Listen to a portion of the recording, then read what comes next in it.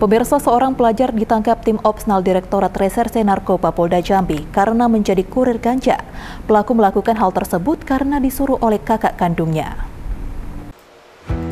Seorang pelajar sekolah menengah atas berinisial MFA, 17 tahun, warga kota Jambi ditangkap tim Opsnal Direktorat Reserse Narkoba Polda Jambi karena nekat menjadi kurir ganja.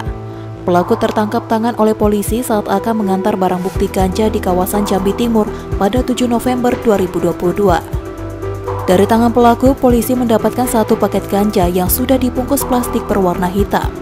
Naasnya, perbuatan pelaku dilakukan atas perintah kakak kandungnya yang saat ini masih DPO.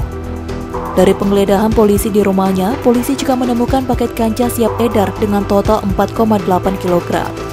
Maka tim opsional melakukan pengintaian dan ditemukan di sekitar TKP satu orang yang mencurigakan.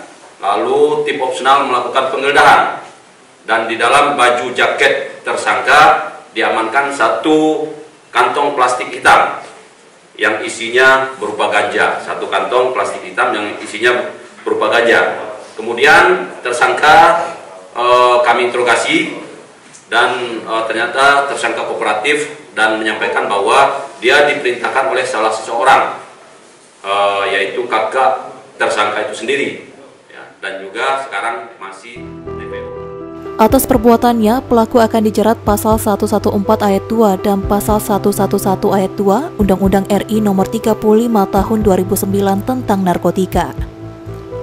Dimas Sanjaya, JEK TV, melaporkan.